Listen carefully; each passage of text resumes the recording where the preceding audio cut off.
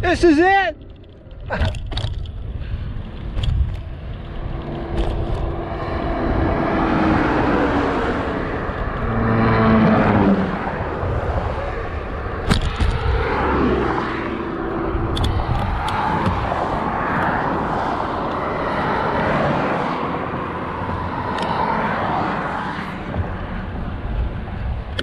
We gotta go over here.